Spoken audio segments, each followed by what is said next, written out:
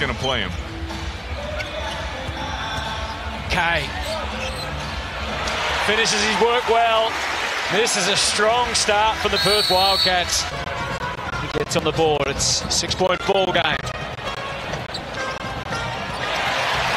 Grant with the follow-up that time. That will please Trevor Gleeson.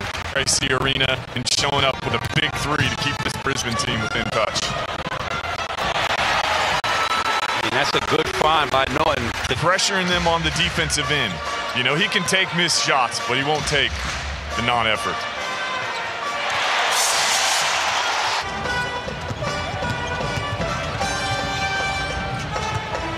Kay was close enough and he knew it.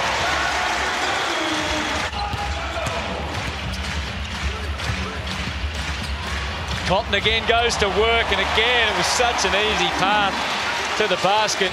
They should have gone to him more in this game, even though this game isn't over. They should have made a point to get him more touches early. And the crowd able to sit down now. So you got left to show us. Oh, just didn't matter in the end, but electrifying play again from Price Scott.